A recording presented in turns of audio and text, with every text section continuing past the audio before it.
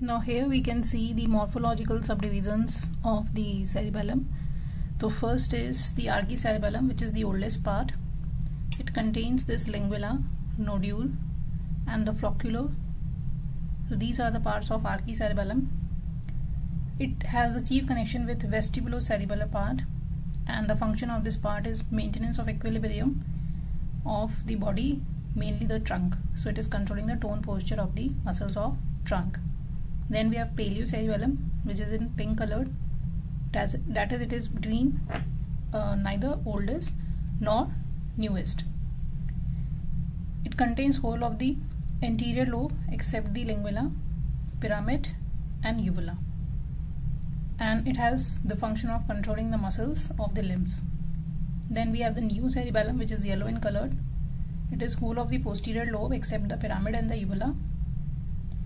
And it is for the smooth performance of highly skilled voluntary movements of precision. Now the internal structure of the cerebellum. The cerebellum is made up of thin surface layer of grey matter which is known as cerebellar cortex and a central core of white matter. Embedded within the central core of white matter, these are the masses of grey matter which are termed as intracerebellar nuclei. First we discuss the structure of the cerebellar cortex. So in the cortex we have three layers that is the outermost molecular layer also known as plexiform layer. Then in the middle we have Purkinje cell layer. Then innermost is the Golgi cell layer. So first the molecular layer. The molecular layer is the superficial layer. It consists of the numerous dendritic arborization of the Purkinje cells. Here we can see these are the Purkinje cell which is lying next to the molecular layer. Their dendrites, they ramify in this molecular layer. In spite of this, we also have other two cells that is the basket cells. These are the basket cells and the stellate cells.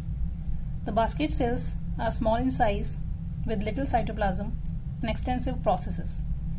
The longest of these processes, that is the axon of each cell, assume a transverse course.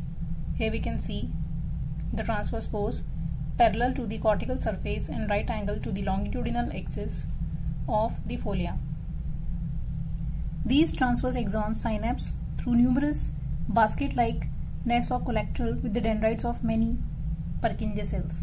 So here we can see these are the basket cells. Then we have stellate cells Stellate cells with characteristically short processes are scattered near the surface. Their axons arborize with the dendritic spines of the Purkinje cells. Then we have Purkinje cells. These are the Purkinje cells.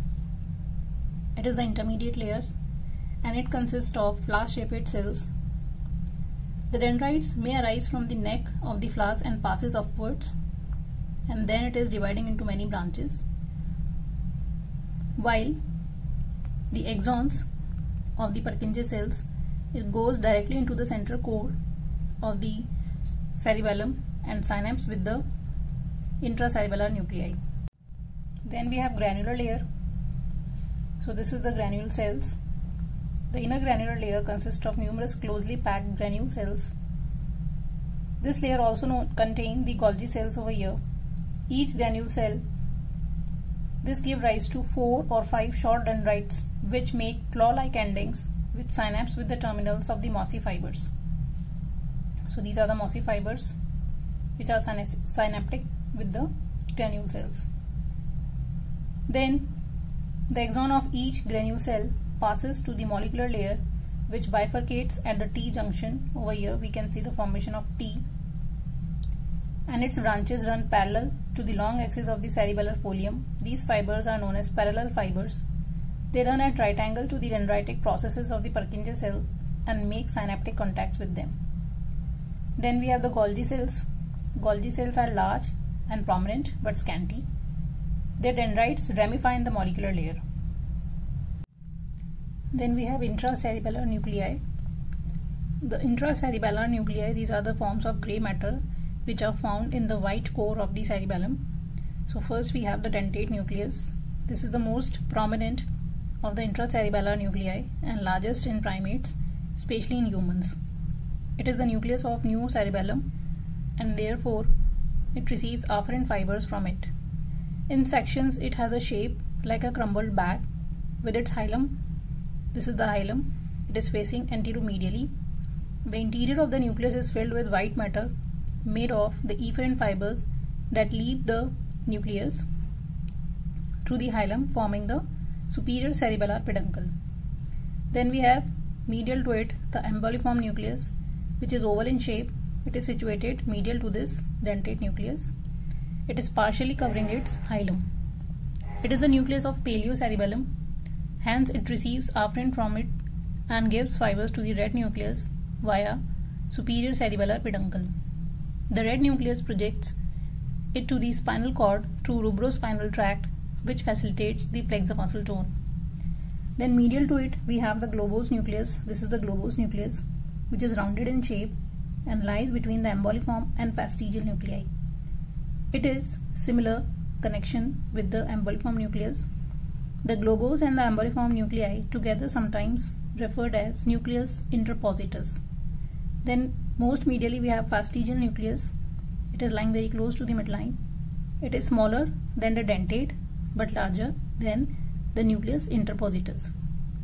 It is the nucleus of archicerebellum, hence receive afferent fibers from flocculonodular lobe and conveys efferent fibers to the vestibular and reticular nuclei. The fastigial connection influence the extensor muscle tone.